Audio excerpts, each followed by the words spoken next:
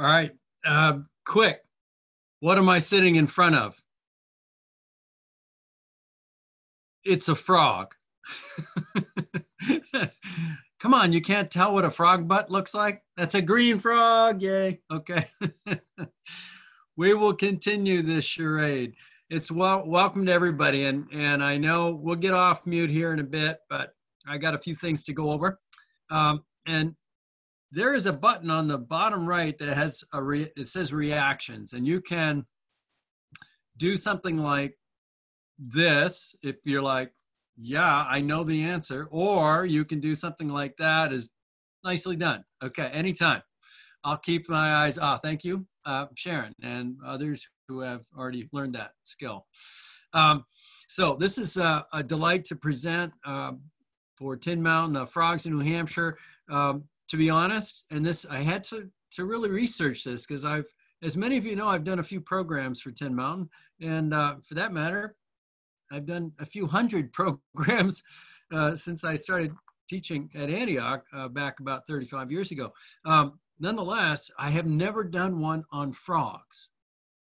Wow, I know. And if it wasn't for Nora, thank you very much, Nora. Um, I can't see you now because you're hiding, probably eating dinner.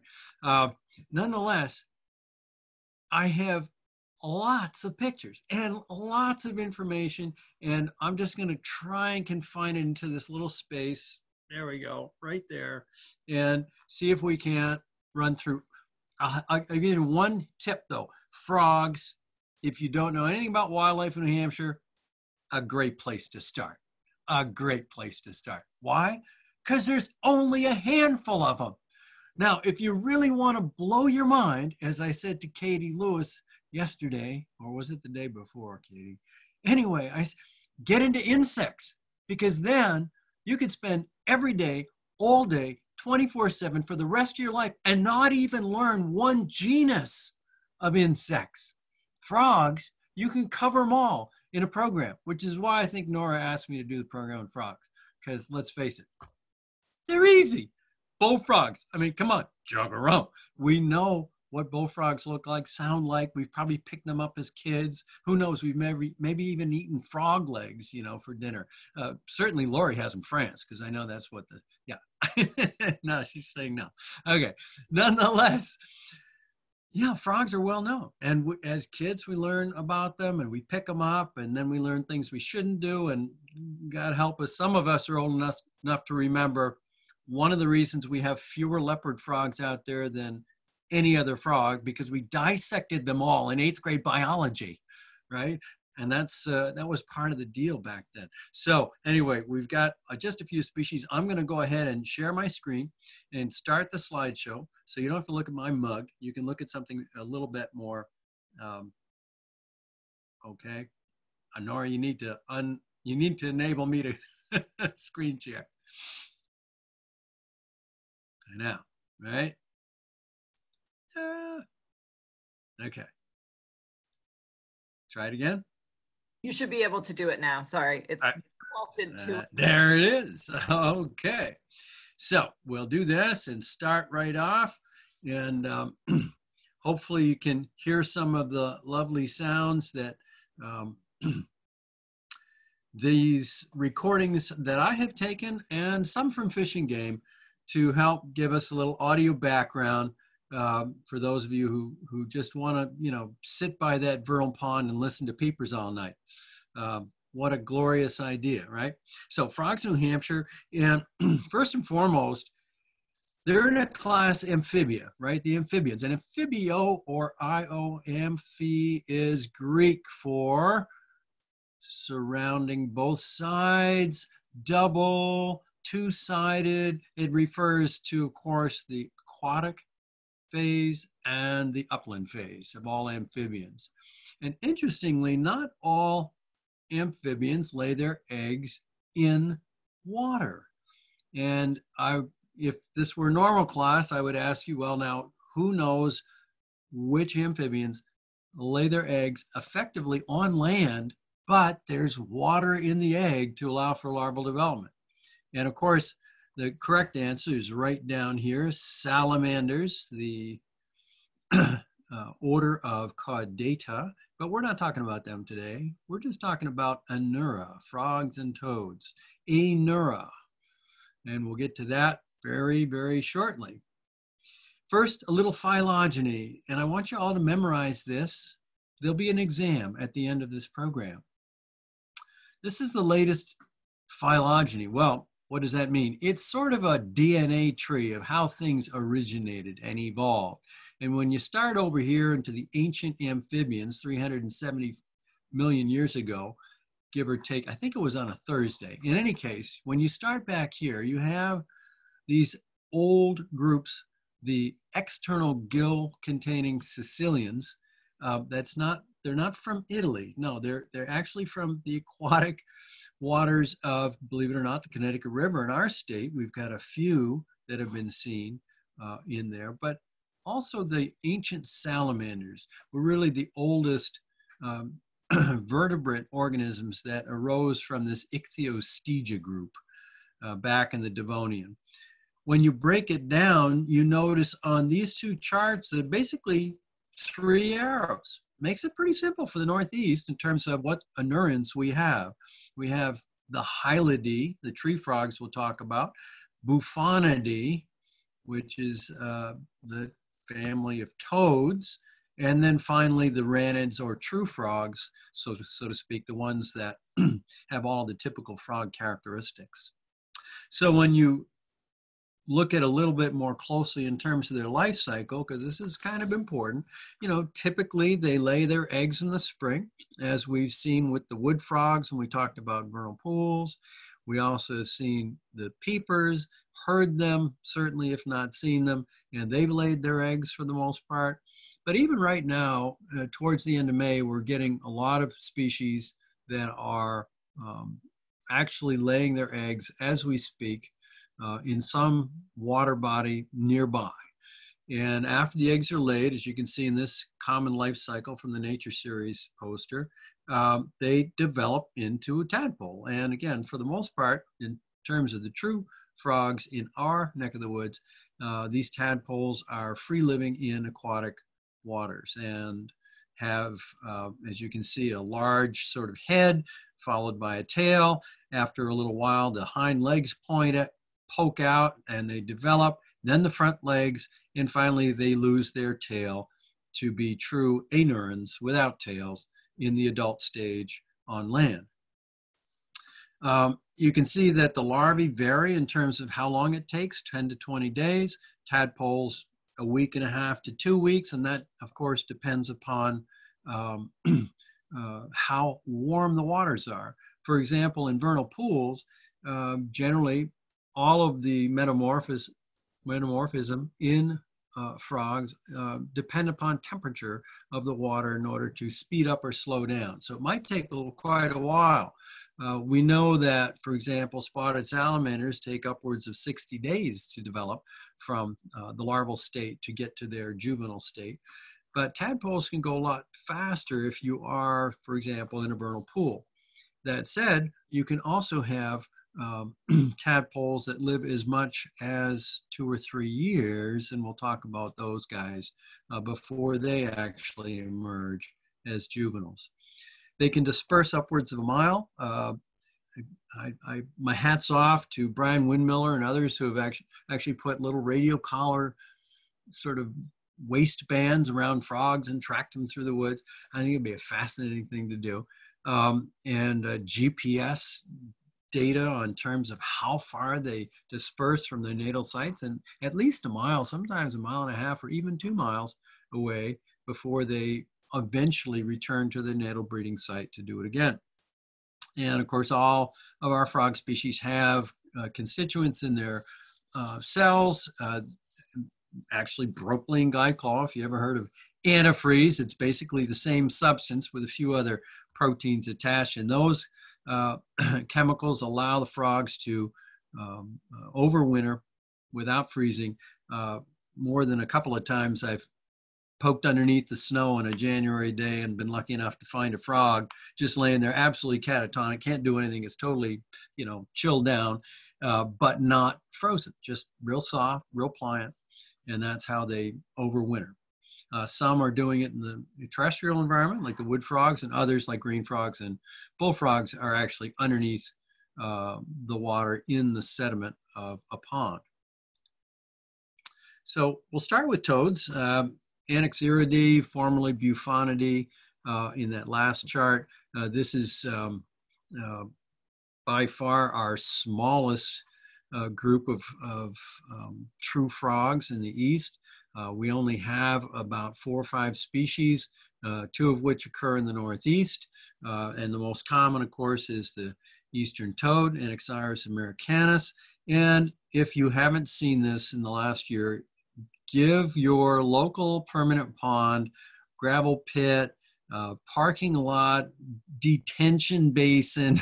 they don't care where they breed. Give these guys a look in about two or three weeks, and you'll see all these little tiny black tadpoles everywhere.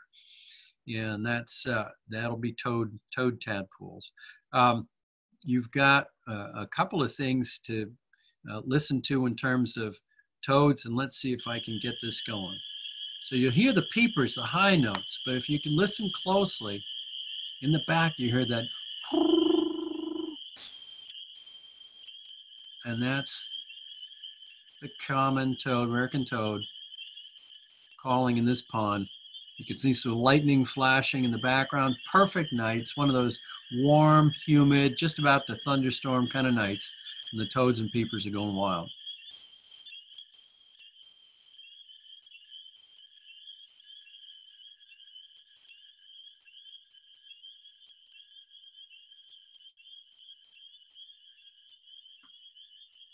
I love that sound. I could just go into la la land listening to that all night. It's wonderful. So toads found throughout the eastern United States and Canada. Um, they are characterized by a parotid gland, which is these two bumps that you see between the eyes, the orbital sockets right there. And those parotid glands uh, really developed over, you know, a couple million years to provide predator defense, right? These chemicals in there, and there's a number of different chemicals but isolated, are toxic to pretty much most wildlife, including us. Um, Tom Tyning, one of my former amphibian mentors at, at Antioch, uh, he's lived down in Holyoke, and Tom um, uh, used to take toads and to the unsuspecting student squeeze the parotid gland and nail somebody in the face. Sometimes it sort of caught the lip and the lip would immediately burn. Personal experience. Don't lick toads. I mean, yeah, okay, so maybe indigenous cultures in other parts of the world, namely South America, use toad venom as sort of mind altering uh, drugs, but nonetheless, I don't recommend it. You will not have a pleasant experience. It's pretty effective, that venom. They breed in mid to late spring and they have really long, gelatinous, double stranded masses of eggs. If you're lucky, um, in the next week or so, you could go to a pond and find these things. They're tiny blackish eggs, and you can barely see the gelatin, and they're sort of looks like a long strand of DNA laying on the side of the, the pond. Um, they are explosive breeders, as many of our frogs are, and so you'll get, as you saw in that one picture, thousands and thousands of larvae in a pond and of course, I don't know what the numbers are, but you know, at least uh, uh, you know one one thousandth of those uh, larvae are eventually going to survive and uh, make it to adulthood. Uh, toads are not usually in vernal pools, although certainly they can hang out in vernal pools uh, as adults. the other toad, the only other toad we have is this guy, the Fowler's toad. And Anaxyrus fowleri, formerly Bufo woodhousei, which was uh, named after a Massachusetts uh, botanist who um, and zoologist, both uh, Woodhouse uh, in the 19th century. Um, these guys are at their northern limit in New Hampshire. They're pretty much a southern coastal plain species. They are abundant uh, all throughout the middle Atlantic states down into the Carolinas and into North Florida. They have this kind of nasal call. It's, um, you know, especially if your nose is stuffed up, it works. and they are therefore nothing like the American toad in terms of their calls. You cannot mistake in this. Um, a great place to see or hear um, Fowler's toads are in the Cape, is in the Cape. Um, there are a lot of ponds in the Cape, uh, sort of sand, what they call sand plain ponds, and that's just, they're absolutely heaven in terms of where they like to breed. Uh, their egg strands are shorter than the eastern toad. They lay a little bit in uh, later, uh, the eggs into sort of late spring. Um, and they're so uncommon in, in our state, they're state listed as a special concern species, or is a, actually a record for Center Harbor. I didn't, I didn't, hadn't read that before. I, I knew about the Hanover record. There's a couple in Manchester, Hooksett, um, Stratford. Uh, there's a couple of towns in the coastal area, but in terms of the Lakes region and north, yeah, good luck. You have to go a little farther south to see these guys. So that's the Fowlers, the other toad we have in New Hampshire. Then we jump into the Hylidae. These are the tree frogs. And as you can see in this picture, they're characterized by having toe pads that are effectively suction cups that allow them to climb vertical surfaces and hence they're common in trees. Um, not always in trees. Obviously, I got lucky with this guy um, and this one, both on the ground. So they'll come down to forage as most uh, frogs do, but they do have an, um, these toe pads to adapt to living in higher parts of woody vegetation around the ponds they breed in, and that helps in their, um, their camouflage. As we know with uh, green frogs, um, they can actually change, excuse me, with uh, gray tree frogs, they can actually change their color. And this guy that was actually was sitting here, I was waiting, uh, because it obviously it emerged from bark and was beginning to turn green. And by after about an hour or so, that color turned to about this shade. So it's amazing how fast they can actually change colors to adapt to their background. Uh, but in the juvenile state, they're bright lime green and short of, you know, the camouflage of sitting there, in this case, it looks like a maleberry, um, they blend in quite well. If they're out of their vegetation environment, like they might be in terms of on your house wall, then they are easy to see. Uh, my friend Barry Draper took this great shot after raising some great tree frogs in his aquarium, and that's uh, a picture of the larva. Um, they are, as uh, many folks know, um, uh, active once it gets a little bit warmer, generally 50 degrees, but give it to 60 or more, and then you'll start to hear gray tree frogs. They started vocalizing in the last couple of weeks in our region, and uh, we'll hear them all the way through into September as long as it's warm enough. They breed in late spring, lay out over a 2,000 eggs. It's amazing how many eggs they can produce, the females, uh, in clusters of up to 50. I can't tell you that I've seen good clusters of tree frogs. They're, um, you know, you have to really look for them. And the other thing is that in the ponds that they lay their eggs in, they typically do so under the vegetation or under leaves in the pond. So you have to actually rake through the leaves to find these eggs. A little bit tough to do.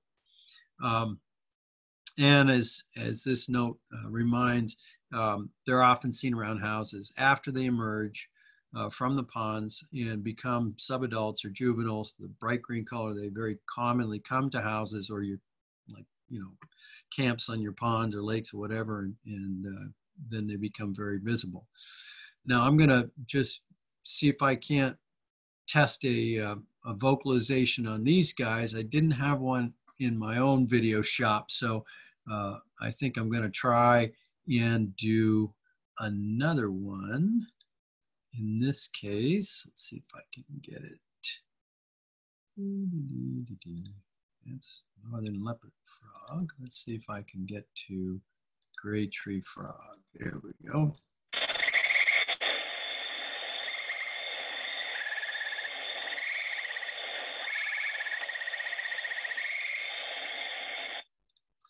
So that's a, just an example of um, the gray tree frog. And yeah, it's sort of an unmistakable trill like arrangement. Um, oh, I think I just hit the wrong. Okay. Let's go back to here.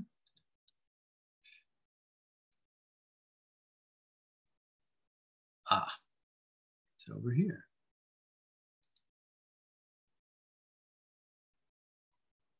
All right, technical difficulty. There we go. All right. So um, the next uh, frog is actually was thought to be uh, in its own family, and after some DNA work, they realized the spring peeper is nonetheless a, a hylid. Um, we tend to call them narrow-mouthed frogs because they have narrow mouths, but again, as a hylid, they're actually a true tree frog. So um, little bit of tax change once the DNA really sorted out where these guys belong. Spring peepers are nonetheless, well, spring peepers.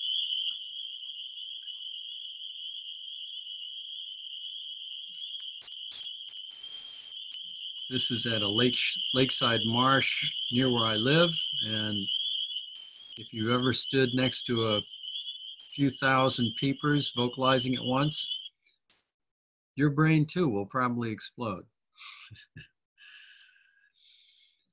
Peepers, of course, are well camouflaged. They have this X mark on their back. It's a little hard to tell sometimes, but generally that's um, present, hence the name crucifer for that cross pattern.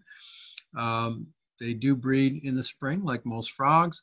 Uh, they only lay uh, one or two eggs, maybe a small group of eggs at a time under the leaf litter at the edge of these ponds that are tend to be permanent. They can also uh, lay eggs in vernal pools as well, uh, but up to a thousand eggs again. It's amazing the fecundity of these guys. And I suppose if you're at a spring peeper pond in the evening, you, yeah, it's easy to imagine. It's, it sounds like there might be a thousand. Of course, it's probably just a couple hundred, you know, just to blind your ears, as it were. Uh, they're found throughout uh, Eastern North America and are pretty widespread. Um, they disperse like wood frogs and other types of true frogs uh, widely into the upland environment after emerging as, as subadults, and you can find them just virtually miles from, from water. So we get into the ranids. I threw this slide up just to show you how uh, close some of the DNA is. Um, these are, of course, the amino acid building blocks and nucleotides from a strand of DNA that is used for identifying these particular, this particular group, the ranids, um, from each other. And you can see there's just a couple of um, nucleotide uh, members that are different in a couple of the chains. They're very, very close. And yet it's enough, uh, perhaps as close as 99.5% to each other to have distinguishing characteristics. Here we see just the five species with sort of Rana sylvatica being the apparent uh, more ancestral member of this group. Uh, not shown here is the mink frog, which we'll talk about as well. So wood frog, absolutely, right? These are just classic, classic members of our spring fauna. Um, we have eggs here on the right. It's commonly laid as grapefruit sized clusters, upwards of 3,000 eggs if you have a really big cluster, but more typically about 500 to 600 eggs in a cluster. And they're colonial in the sense that the females and males all congregate in these masses in vernal pools and lay their eggs and lay their eggs in one location.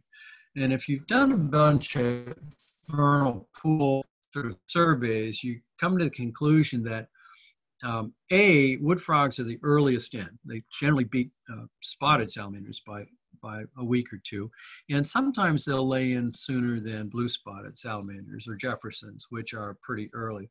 Um, nonetheless, uh, it really varies in terms of how fast or how quickly they uh, develop into embryos and then emerge as tadpoles, as you see in this image right here, the classic sort of square or what I call blocky structure of the tadpole, which is pretty distinct. It's the only one that really looks like it is a pickerel frog, which I'll show you a picture of in a minute, but that's a classic wood frog.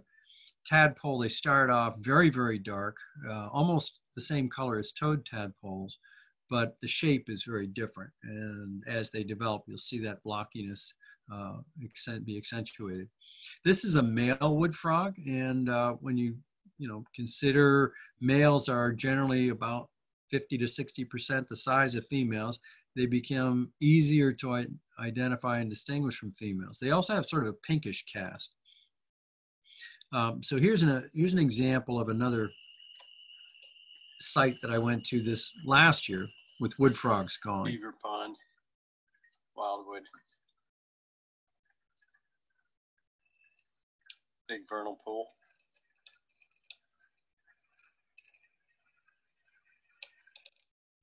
And that site was, um, you could, it was hard to hear. It was not a great recording, but you could hear that wood duck kind of call of the wood frog. Hence, um, I think one of the reasons it got its name. Um, it does sound like a duck, and you can hear them uh, several hundred yards away in the woods. And it's one way that um, uh, some folks like myself do uh, uh vernal pool surveys is by walking transects and and doing at least two recordings, uh, directional recordings of the sounds of wood frogs so you can pinpoint the approximate location of these guys as you're walking through the woods.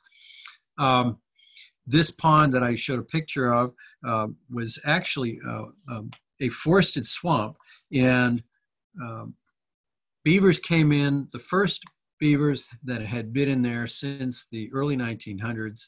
Uh, you know, they've been trapped out after that. And within one year, I counted over a thousand wood frogs after the first inundation took place.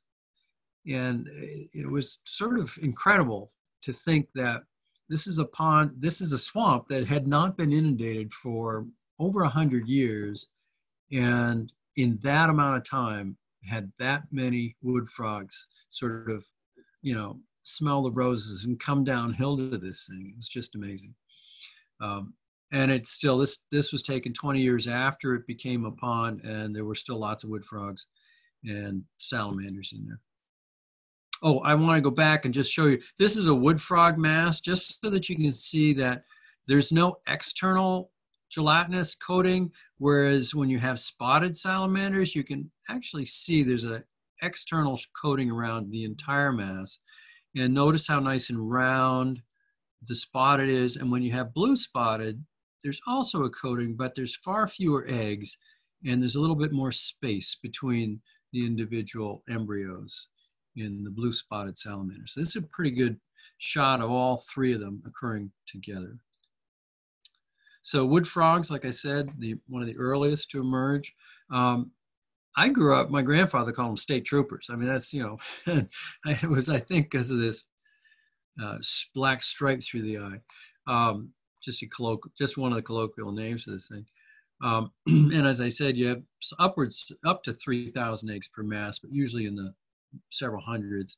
Um, and then emerging and dispersing uh, upwards of two or three miles from the natal site.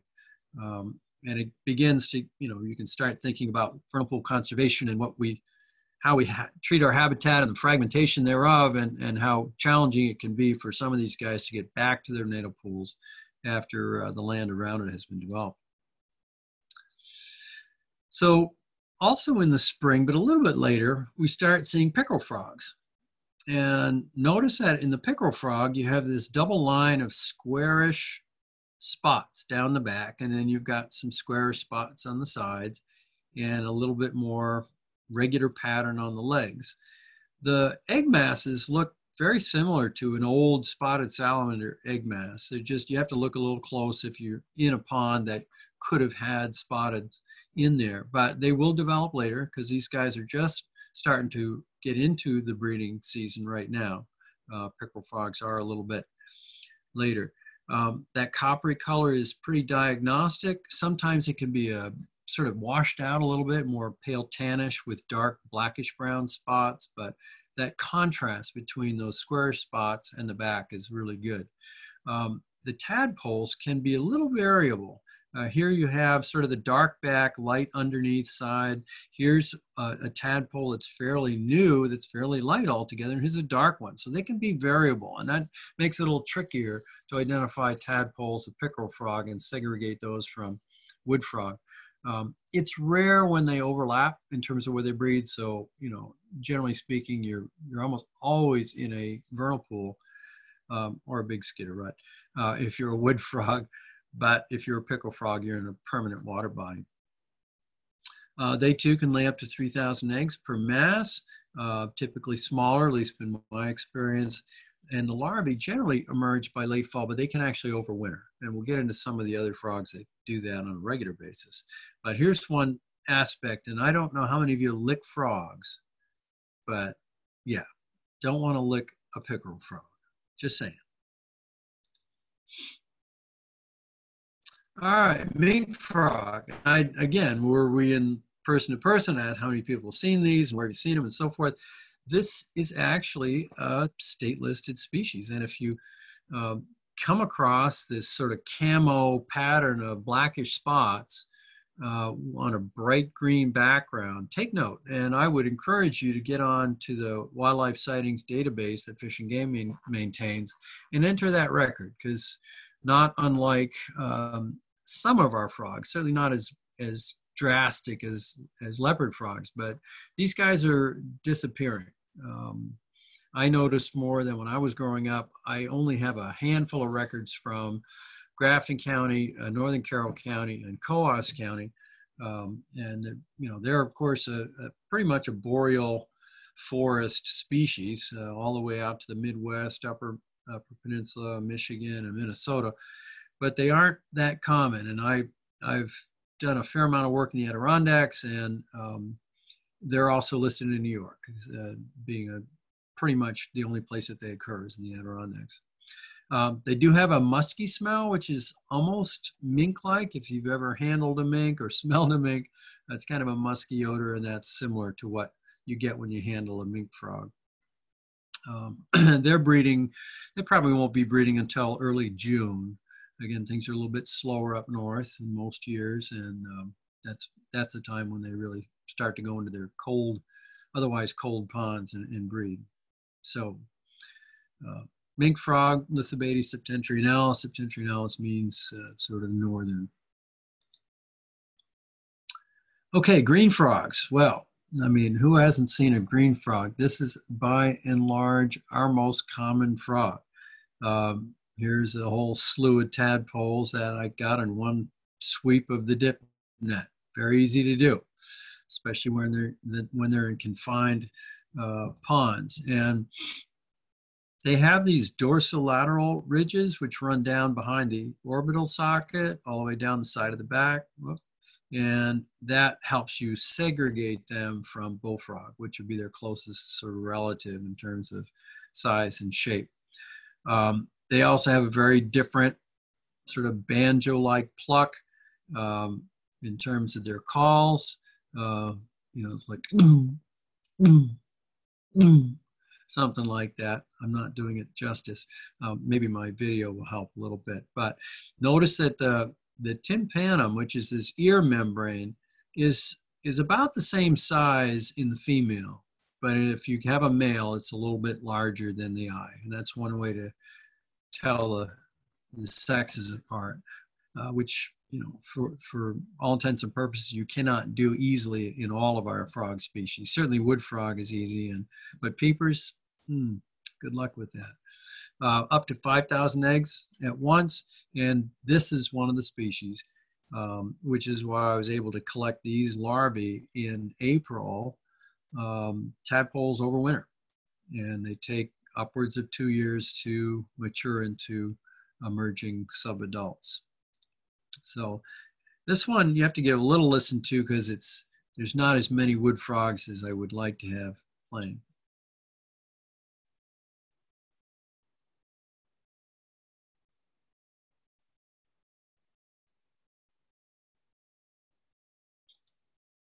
Yeah, can't really hear it that well. Oh well, I'm sure you've all heard the banjo sounds of the wood frog. Ah, there was a peeper. all right, so the uh, next to, I think this is next to last species is the leopard frog, and this one um, is pretty characteristic in terms of the spots. it does have the same size as a green frog, but notice it doesn't really have a greenish face uh, like the mink or the green frog or the bullfrog. Um, it's more tannish colored, but it can be green. These are pretty variable. Our northern ones tend to be darker than the southern leopard frog, uh, but these roundish spots are characteristic. So it's really hard to mistaken it for any other frog. Once you look at those roundish spots, in this case, you've got a sort of a green ring surrounding the dark spots. Um, and that's pretty, pretty classic. Those spots can be elongate and you might see dorsolateral ridges and think, oh, it's a green frog. But then you look again at the spots themselves. It's, they're not squarish, they're roundish and, um, and that gives away the leopard frog. Um, these guys have disappeared, as I said. There's a chytrid fungus that's a water mold, um, and that has been um, affecting them. There's, of course, habitat loss. We've lost in not so much in the Northeast, but in other parts of the country. Uh, our leopard frogs have disappeared from introduced species, particularly in the Gulf states. Um, and so they are listed now as a, a, special concern species. And in my opinion, they should be listed as threatened. I, I think they're rare enough that um, we should go ahead and just treat them as a threatened species in the state, uh, which add, may add a little bit of protection to them if, if we have um, any development proposals for large floodplains, um, which is where they tend to occur most commonly. This picture was taken down at uh, the Canterbury uh, River Wash, um, I think Riverside, something, uh, conservation land that the town owns on the Merrimack River. Um, and that uh, the other one was from the Connecticut River. So I've only really seen them, uh, well, not only, but I've mostly seen them in floodplains. Um, and these guys do have a pretty characteristic um, uh, snoring uh, sound. And see if I can get back to get back to that.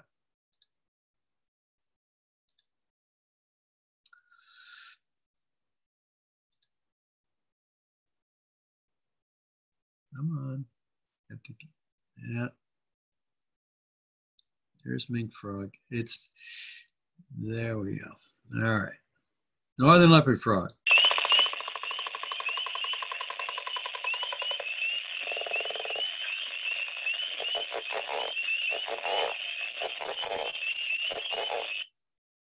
Yeah, that's pretty different. And while we're here, since I'm takes a little bit to get this, here's the mink frog, which is also quite a bit different than green frog.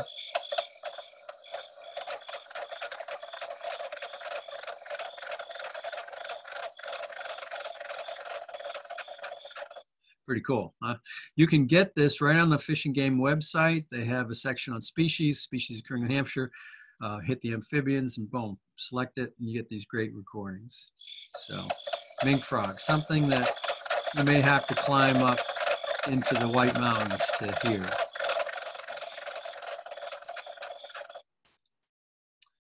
All right, so we'll do, uh, finish this up. All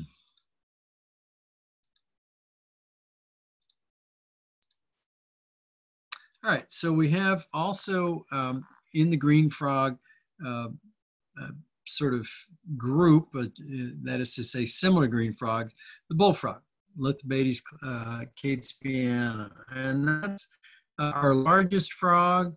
It has, um, you know, these this bright green coloration, and that can be variable. You'll see in this emerging uh, subadult here almost, and we've got front legs coming out, back legs are well developed, the tail's still intact, that's kind of a brownish olive gray color, which can be a lot like the green frog in terms of their emerging. You also look at the tadpole, and that almost looks like a green frog, except it's about twice as big. and there's also a much sharper, sort of rounded uh, uh, apical end to the body of the polywog, as it were.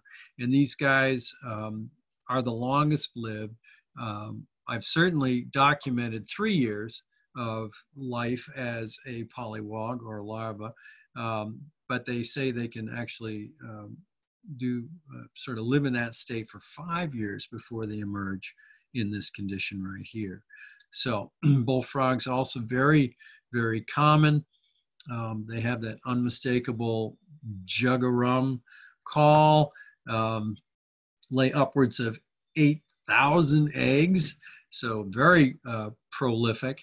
Um, and as I said before, when they overwinter, they'll burrow down into the muck of the pond, uh, permanent pond or lake uh, that they're living in. Um, I have seen them cruise through vernal pools, but uh, typically that's a, a midsummer type, early summer type event where adults are just uh, dispersing, um, perhaps looking for new breeding locales, um, but they're not, you know, uh, going to have enough water in there to, certainly to survive. They could not tolerate uh, the benthic environment of a vernal pool like, you know, fairy shrimp or uh, um, the other most common salamander we have, they're marbled salamanders. So these guys are pretty common. They're all over the map. So frogs are absolutely fun and easy to study. Kids love them, but just don't count on the prince to ride. All right, thank you very much. There's a couple of books here I always like to uh, point people to for those of us old folks that are still book readers. um, you know, Peterson Field Guide, Tom Tyning's uh, Stokes Guide, Jim Taylor's Amphibians and Reptiles of New Hampshire, which is still good, even though it's a little out of date. And of course, uh, DeGraaf and Rudis, uh, Amphibians Reptiles New England is sort of a, a, condensation of a clip from the New England Wildlife uh, book that they have. There's some great online uh, stuff. Fish and Game website's probably my favorite in terms of go-to source of information for these guys. So, all right, I will stop the share and take questions, as it were. And Nora's going to mute, unmute everybody, I think.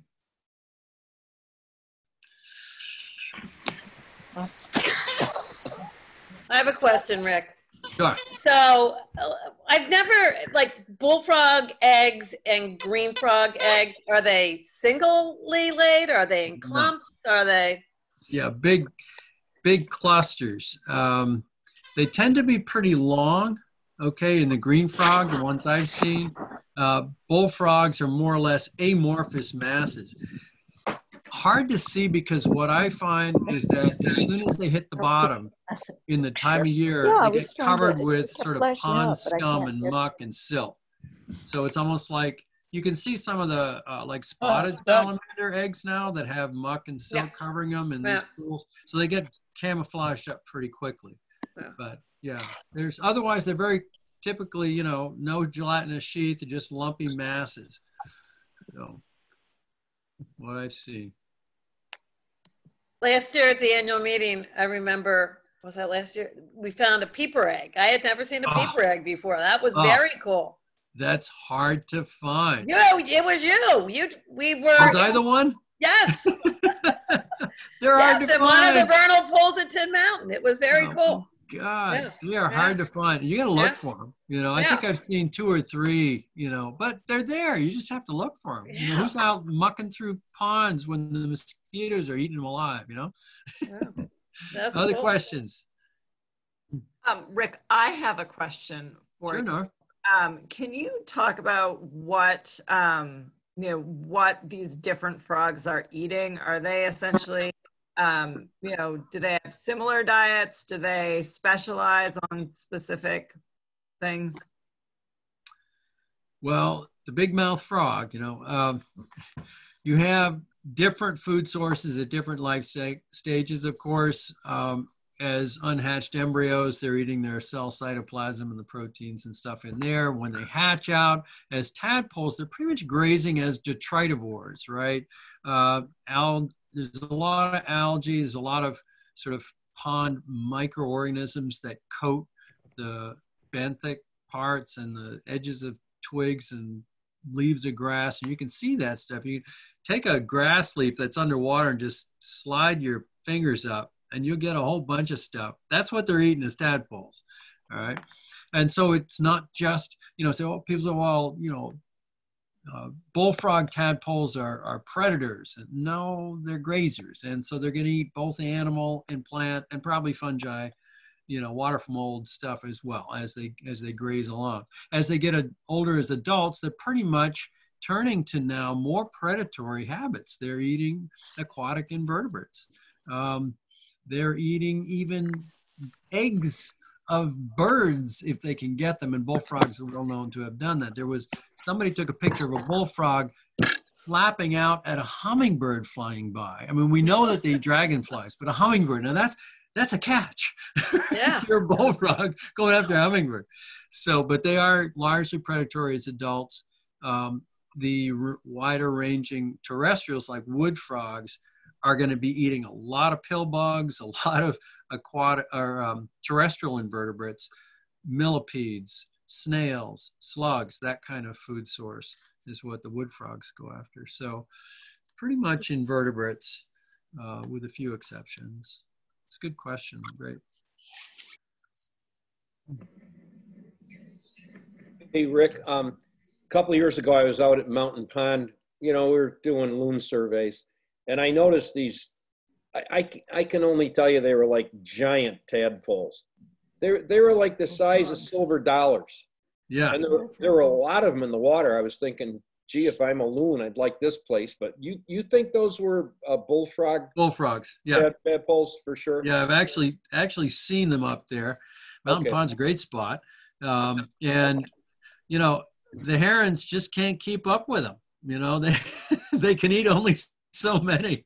Well, yeah. So, I mean, they But- really were sizable. I'd never seen anything like that before. It was interesting. now, if any of you have ever eaten uh, bullfrog tadpoles, I'd be very curious to know. I've never. That's a wild food source that I've never really thought about consuming. Yeah, leg meat maybe, but tadpoles. No, no, no. Okay. I've had frogs legs. They were great. Yeah, frog legs are great. Yeah. Um, sorry. So along that line of eating, not us, no, not us as people, but eating tadpoles, I know that you said for at least some of them that their skin is toxic. So are the tadpoles themselves toxic to birds or fish if they eat them?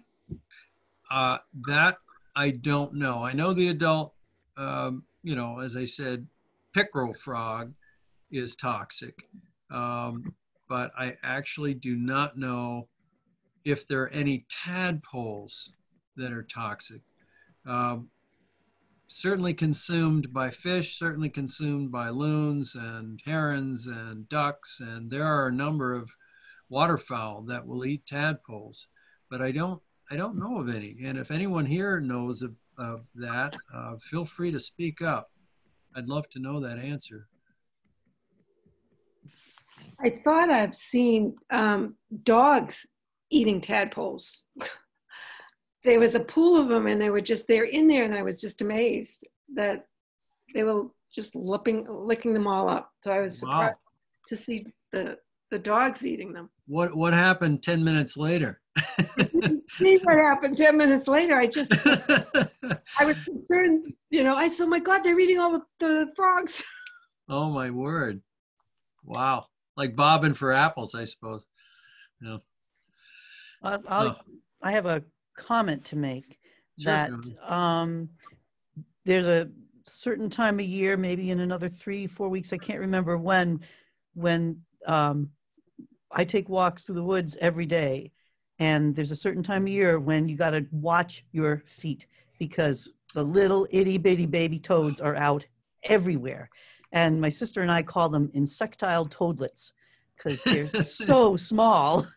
and then and then we're just obsessed with watching where we're placing our feet. It's just like, oh no. Yeah, yeah. Well, I would guess that if if they're the little, you know, just little tiny, Tiny. guys, like about that big, Smaller even. even smaller. Oh, wow. sometimes, yeah. Wow. Then it's got to be, you know, sometime in late June, early July. Yeah. And Yeah. that, you know, because that's about four weeks into on an average temperature, you know, eggs laid mid to late May. It's about right, four to six weeks. So, Yeah. Yeah. Wow. Is there Everything starts small. That's Oh, what I'm always reminding Tony. myself. Is there some kind of uh, condition that makes a bullfrog turn into a frog after several years? Is it good conditions that will make them turn into a frog, or Yeah, What- that's a that's a good question. I I think there are probably several different factors. You know, if you think about bullfrogs occupying uh, a perennial pond environment or even a lake shore, that the water temperature is going to have an effect. The amount of an abundance of food for the polywogs to eat is going to have an effect. Uh, there might be even some predator pressure that may play a part in it relative to say if you have a predator eating a lot of your competitors you've got thousands of brothers and sisters out there and the and the predator takes out 90% of them there's more food for you. And there's actually less chance that you'll get eaten. So that might speed things there's a lot of factors. I i can't pinpoint it but like i said three to five years that's a long long time as a larva uh, in larval state. There are some salamanders that, that go that long as, as larvae. Uh, and certainly we know the, the red eft, for example, will have a three to seven year lifespan as a juvenile before it's a breeding adult. So, but I don't, I don't know specific, you know, specifically. It's a good question. Do they take so long in southern places? I've always thought that like, you know, bullfrogs and green frogs in the south don't it, go through it much quicker, like in Yeah. two years versus. Yeah, they have uh, actually two breeding seasons in the south for green and bullfrog. Wow. And I was I was reading because I, I wasn't sure about this, but there's a- I think a pickerel frog, if I'm not mistaken, also can have a double breeding season down there in the, in Hmm. the south Gulf states and Florida. Yeah. So yeah, I mean, it's um it's going to speed things up with the Yeah. I mean, sure. around here, it just, yeah. Yeah. Uh, Around Rick, here, we could have snow in July. Rick, a follow-up question to the, about the small toads, hiking up the Crawford Path and, and some of the other high peak uh, trails. I've come across in that late June, July period, tiny, I mean, maybe a quarter inch, no more than, less than half an inch sized frogs and then, in that. So what would, what would they be again? I, I missed on that. Well, it, it you know, Toads. They're Toads, toads, or wood frogs. Wood frogs are pretty hefty dispersers. Um, the green frogs don't. My observation is that they don't disperse as much when they're small as they do when they're just before they breed. Like you know, probably about four to five years old on a green frog, and then we can see them. I've had them on the tops of mountains that are dry as a bone. You know, no no water nearby, kind of thing. Um, so, but probably I think toads would be my first guess, and then wood frog number two is the most likely culprit on the Crawford path. Yeah. If I have a photo, I'll send it to you, Laurie, and you can. Yeah, yeah, Rick. please do. Yeah, you know where I hang out. hmm so we hiked up uh, Sabattus over in Lovell uh, probably three weeks ago, and a month, maybe even a month ago. And we were up above a very small body of water, and there was something that we had no idea what it was, but it was froggish, and it sounded like those mink frogs. Would that make sense? Oh yeah. That How? one- What's the elevation up there, Tom? It's not very high. I don't know off the top of my head. But it's Sabattus is- Yeah. Not sure. I mean, we have mink frogs um, in Conway. yeah. That's so, and I think that's about as far south. Uh, I heard tell there was one up at Guinea Pond, but I haven't seen it. That's in Sandwich, and that's at about 2,800 feet, if I'm not mistaken, elevation. Yeah. So that'd be about it. But I don't know about Sabattus. Yeah. But if you if you document it, take a picture and then send it in. The, the little body of water was pretty far below us. Yeah, yeah. It was the noise. It, it was making a very different frog type sound that we had no idea what it was. Yeah, well, that cut, cut, cut, cut, cut, cut, cut. Yeah, That's yeah. pretty cut, cut, cut, cut, cut. You know, that's pretty good for mink frogs. Not a lot of frogs that make that sound. It was it was different. We weren't sure what it was. Hmm. I'll be darned.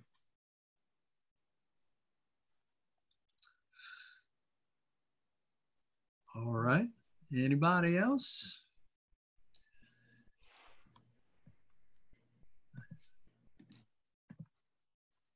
I can play some more spring peeper music to put us all to sleep. but I think we're good to go. Thank you very much for your time. Um, Thank you, Rick. great- Yay. Thank you, Rick. Fun. Yay. Yeah. Yay. Put that clap, Thank you, the Rick. claps, you know, right I there. Did. Hit those go out and we'll all go out and listen to to what's uh what's making Yeah. What's making noise? Yeah, tonight, good night to go out. Um, yes, so yes, and thank you again for doing this. And if folks are looking for something to do next Thursday, we'll have, um, you know, as I said, Olivia Saunders from New Hampshire, from UNH Cooperative Extension presenting on bees and other backyard pollinators. Yeah, nice. All right. Yes, but thank you all for tuning in. Okay. Thanks, Rick. Thank you. Yeah. Yep. Night now.